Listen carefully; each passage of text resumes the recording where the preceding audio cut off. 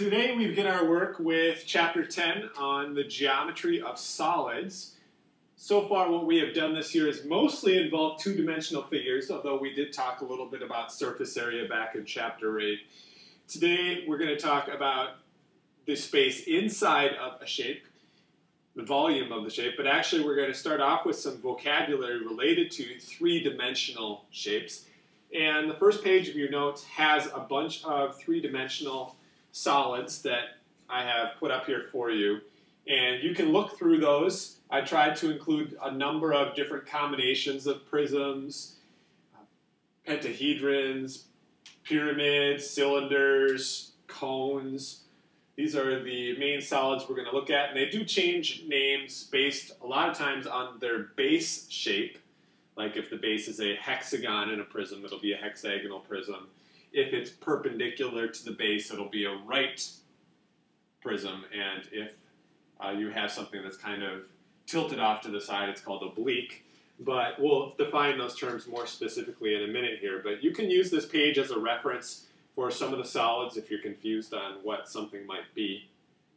So now let's go to the second page of the notes. Today's notes is going to be back to vocabulary. We've been going through a few units now of calculations related to, well, hypotenuse, legs of triangles. We were doing trigonometry. We were doing area. We were doing lots of formulas. And we will do formulas in this unit as well.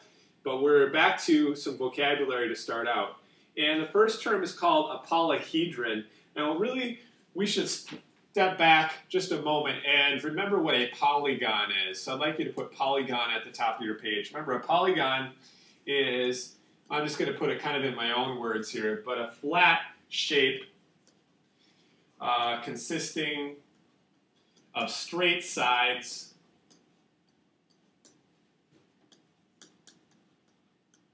that enclose one area.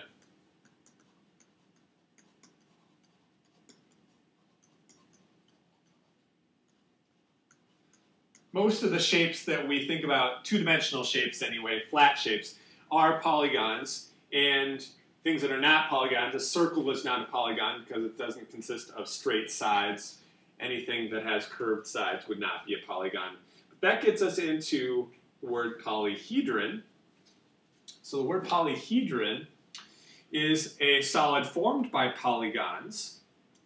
So a solid meaning a 3D three-dimensional shape. Uh, solid formed by polygons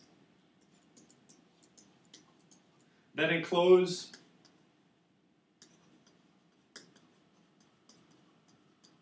a single region of space.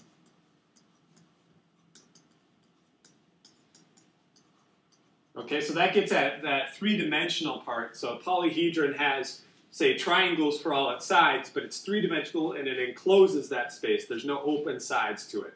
That's what a polyhedron is. Now a tetrahedron, you might know the word tetra. A lot of these prefixes here come from either Greek or Latin. And if you've ever played the game Tetris, on a, a video game Tetris, you'll know that all of those shapes consist of four little blocks. And in fact, tetra means four. So it is a polyhedron with four faces.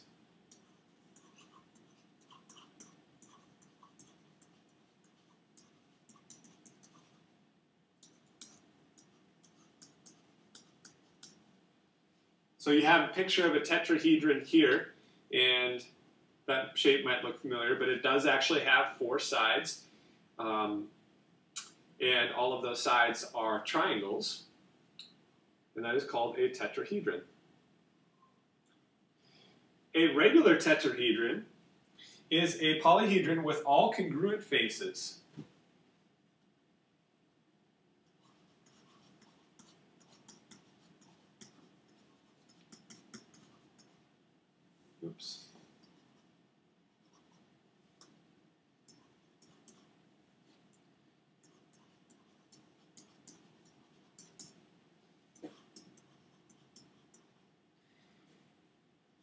and the faces meet at each vertex in exactly the same way.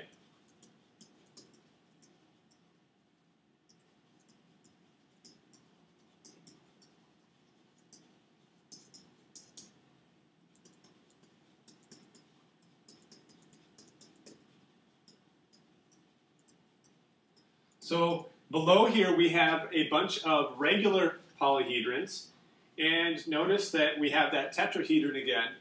And what's different about these is that all of their faces are congruent. So all four faces of this tetrahedron are all congruent triangles, and all four faces of this cube right here are all squares, and all the faces of this octahedron here are back to congruent triangles again, but there's eight of those. Octa means eight, so there's actually eight of those triangles that enclose that space. The dodecahedron, there are 12, 12 regular pentagons here that enclose the space. And the icosahedron, where there are 20. And so if you look at all of those, if you look at any particular vertex, so if you take a look at this vertex here, or this vertex here, or this vertex, or this vertex, look at all of the places where you basically the shape has a little point to it. All of those vertices on the same shape all have the same number of faces meeting at the same in the same way. All right, so you've got all four faces meeting here. You've got three faces meeting at this point here. All right, you've got three faces meeting at this point right here um, on these right here, like for instance, this point, you've got five different faces meeting at that point, and that's true throughout the polyhedron. So they have these similar characteristics to them, and those are what are called regular polyhedrons. And you see some of these as dice in certain types of games. Of course, the cube is used as a die in some games, but you might recognize some of these other ones because they are also used as dice in different games as well.